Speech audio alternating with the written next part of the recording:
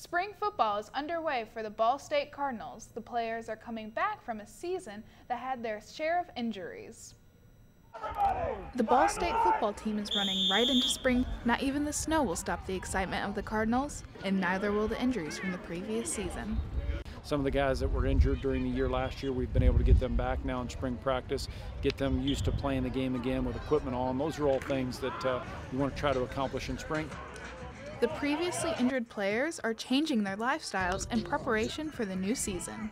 Sleeping more, that's uh, helping my body recover faster so I can get back each and every day that we practice. Caleb Slavin has one ultimate goal in mind for the fall.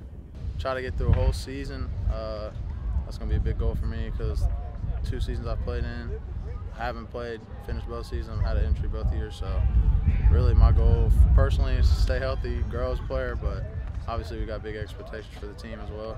The team is also focusing on preparing their young players for the speed of the game.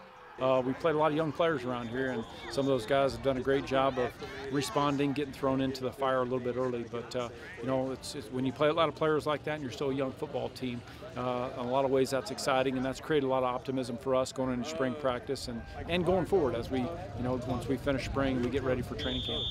The football team has practices scheduled for Tuesday, Thursday, and Saturday over the next several weeks. Spectators can see the young players in action for their annual spring game set for Saturday, April 13th at 11 in the morning.